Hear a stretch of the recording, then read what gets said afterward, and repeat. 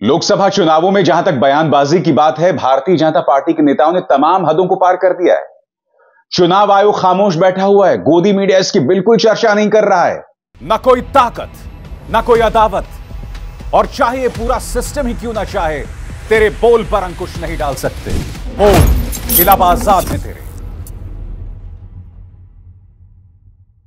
सबसे पहली जो मिसाल मैं आपको देने वाला हूँ दोस्तों उसे सुनने देखने के बाद आप इतना हंसने वाले हैं, मैं बता नहीं सकता हूँ। दोस्तों, खबर क्या मैं आपको बताता हूँ? इस खबर के दो पहलू हैं। सबसे पहले, आपके स्क्रीन पर ये हैं भाजपा के नेता सांसद निरहुआ। निरहुआ ने बयान ये दे डाला कि साहब, बेरोजगारी बढ़ रही है, इसलिए रोज़गार संभव नहीं है। और प्रधानमंत्री नरेंद्र मोदी और योगी तो बच्चा भी नहीं पैदा कर रहे हैं। तो वो तो बेरोजगारी भी नहीं बढ़ा रहे हैं। कांग्रेस के नेता श्रीनिवास बीवी ने इस बयान को सबसे पहले पोस्ट किया सोशल मीडिया पर। मैं चाहूँगा आप उसके 20 सेकंड सुनिए। मैं नहीं जानता था कि भोजपुरी फ़िल्म में एक्टिंग करने के साथ साथ आप इतनी अच्छी कॉमेडी भी करते हैं निरहुआ जी। सुनिए श्रीनिवास बीवी ने क्या बयान जो है पेश किया था। मोदी जी ने तो रोक दिया, एक भी बच्चा है मोदी जी का। बताओ कोई। एक भी बच्चा है योगी जी का? तो योगी जी मोदी जी तो बेरोजगारी रोक दिए कि भाई नहीं हम नहीं बढ़ाएँगे। तो बढ़ा कौन रहा है ये बेरोजगारी? जो बच्चे पे बच्चा पैदा किए जा रहा है और सरकार कह रही है रुक जाओ तो मान भी नहीं रहा है। क्योंकि साहब जैसे ये बयान सामने आया कि भाई मोदी और योगी ने बच्चे थोड़ी ना पैदा किए उनकी वजह से बेरोजगारी थोड़ना बढ़ रही है। हुआ ये कि जैसे ये बयान सामने आता है अक्सर झूठ फैलाते हुए जो व्यक्ति पकड़ा जाता है, यानी कि भाजपा प्रचार तंत्र का मुखिया, अमित मालवीय कहता है कि यह फेक वीडियो है। कांग्रेस ने एआई के ज़रिए आर्टिफिशियल इंटेलिजेंस के ज़रिए यह वीडियो जो है, वो जेनरेट किया है। निरहुआ भी कहते हैं कि मैं एफआईआर दर्ज करूँगा, पुलिस केस करूँगा। सबसे पहले अमित मालवीय का बयान आपके स्क्रीन पर, वो कहते हैं the video is fake the Congress like in MP is using deep fakes to mislead people create unrest and sow divisions in the society. Dinesh Lal Yadav, BJP MP from Azamgarh is filing FIR against Indian Youth Congress President who is an habitual offender. Complaint also been filed with Election Commission. We have all the screenshots with the stamp and video recordings for a legal case. ये आदमी ये धमकी दे रहा है कि साहब हम case करने वाले हैं हमारे पास सारे सबूत हैं ये झूठा वीडियो है डीप फेकर न जाने क्या क्या कहा उसके बाद क्या होता है दोस्तों? जैसे ही अमित मालवीय का यह बयान आता है, आप बयान सुन चुके हैं तो निरहुआ का भी बयान आता है। निरहुआ क्या कहते हैं आपकी स्क्रीन पर? फेक वीडियो प्रमोट करने का ट्रेंड हो गया है कांग्रेस वालों का। कोई भी देखकर समझ जाएगा कि ऊँट कुछ और बोल रहे हैं। आर्टिफिशियल इंटेलिजेंस से साउंड क्लोन करके क्या साबित करना चाहते हैं? श्रीनिवास, चुनाव आयोग कृपया संज्ञान ले। कितनी बड़ी बात कह दी यहाँ पर निरहुआ ने। कि जो बयान अभी अभी मैंने आपको सुनाया, वो बयान उन्होंने दिया ही नहीं। तो होता क्या है दोस्तों, उसके बाद ऑल्ट न्यूज़ इसकी जाँच करता है और वो पहुँचता है पत्रकार संतोष कुशवाहा के पास, जिन्होंने वो इंटरव्यू लिया था। और फिर संतोष कुशवाहा का यूट्यूब का पूरा इंटरव्यू सामने आता है। अब मैं आपको सुनाने वाला हूँ, उसी यूट्यूब से, दरअसल निरहुआ ने कहा क्या था? थोड़ा लंबा, करीब एक मिनट का, करीब पचास सेकंड का। सुनिए उन्होंने क्या कहा था। जनसंख्या बढ़ा रहे हो, वो बेरोजगारी बढ़ रही है। तो उसको रोकने का प्रयास तो मोदी जी कर रहे हैं, सरकार कर रही है। और जब वो नियम लेके आना चाहती है कि आप कम बच्चा पैदा करो, दो ही बच्चा पैदा करो, तुम कह रहे हो कि तुम खुद बेरोजगार हो और आठ और बेरोजगार पैदा कर दे रहे हो, क्यों? खुद तुमको अपना पेट पालने नहीं हो रहा है, तुम कह रहे हो कि हम बेरोजगार हैं। तो आप बेरोजगार हो तो एक बार भी सोच रहे हो कि आठ बेरोजगार और क्यों पैदा कर रहे हो? मोदी जी ने तो रोक दिया, एक भी बच्चा है मोदी जी का? बताओ कोई। एक भी बच्चा है योगी जी का? तो योगी जी, मोदी जी तो बेरोजगारी रोक दी है कि भाई नहीं, हम नहीं बढ़ाएँगे। तो बढ़ा कौन रहा है ये बेरोजगारी? जो बच्चे पे बच्चा पैदा किए जा रहा है और सरकार कह रही है, रुक जाओ तो मान भी नहीं रहा है।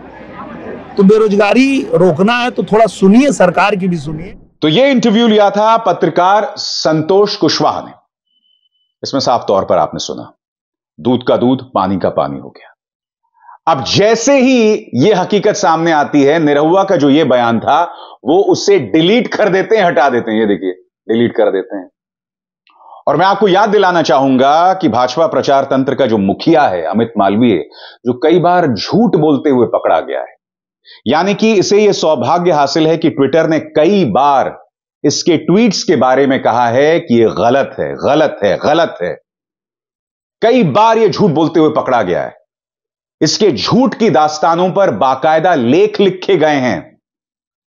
चाहे वो पूर्व प्रधानमंत्री मनमोहन सिंह हो, राहुल गांधी हो, शाहीन बाग हो, झूठ पे झूठ झूठ पे झूठ ये बंदा लगातार बोलता है। प्रधानमंत्री ने कहा था ना, झूठ बोलो बार बार झूठ बोलो। उनका वो जो बयान है ना, उसका सही मायने में अनुसरण ये करता है।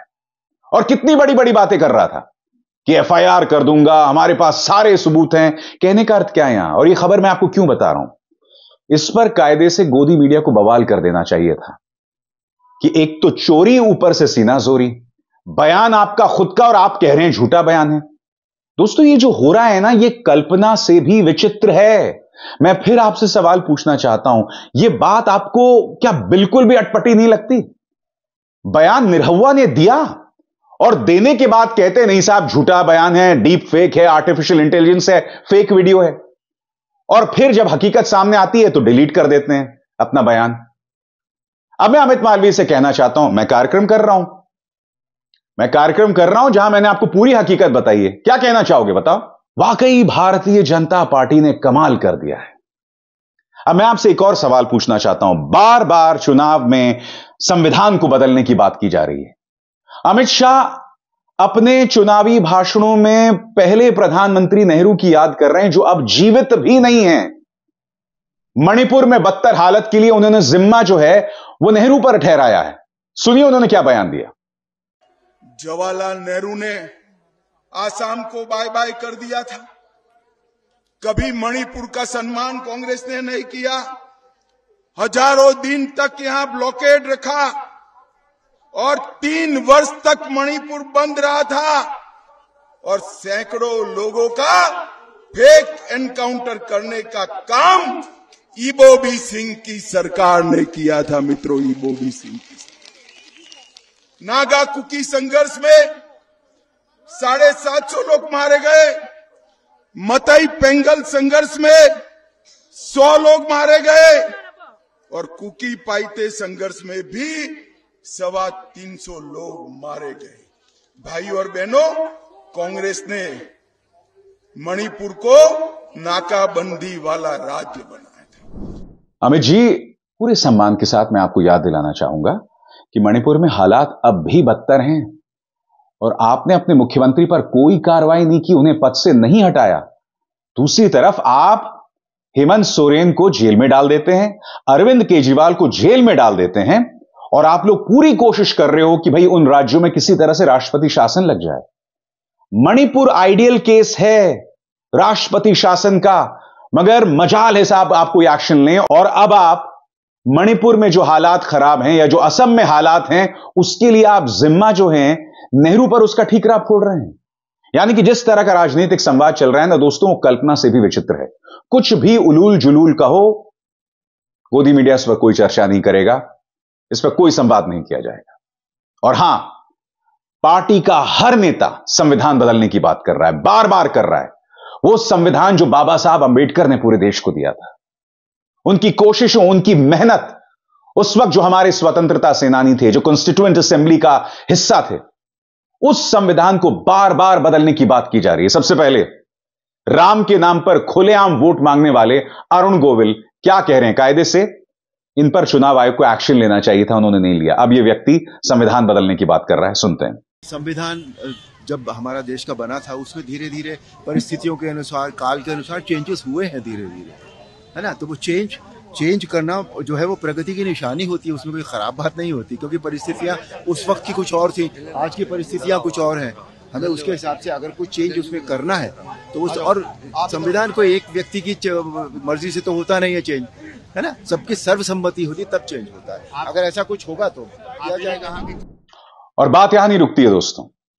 भाजपा के सांसद लल्लू सिंह ये भी संविधान बदलने की बात कर रहे हैं। और ये एक बहुत बड़ा राजनीतिक मुद्दा बन गया है। सुनिए इस मुद्दे पर क्या कह रहे हैं लल्लू सिंह? इसके लिए कई कई नियम बदलने होंगे, संविधान में संशोधन करना होगा और बहुत सारे काम करने। सरकार तो दो सौ बहत्तर पर भी बन जाती है। लेकिन दो सौ बहत्तर की सरकार संविधान में संशोधन नहीं कर सकती। उसके लिए दो तिहाई बहुमत से अधिक चाहिए या नया संविधान बनाना। तो इसलिए ज़ाहिर सी बात है दोस्तों, इस मुद्दे पर राजनीतिक प्रतिक्रिया हुई है। लालू प्रसाद यादव ने तल्ख तेवर अपनाए हैं। वो क्या कह रहे हैं आपके स्क्रीन पर? देश के चारों कोनों से भाजपा के नेताओं की लगातार यह आवाज़ आ रही है कि इस चुनाव के बाद वो संविधान बदल देंगे। भाजपा संविधान बदलने की बात इसलिए करती है ताकि वो वोट की जगह, नोट तथा लोकतंत्र की जगह सामंती राजतंत्र स्थापित कर सके।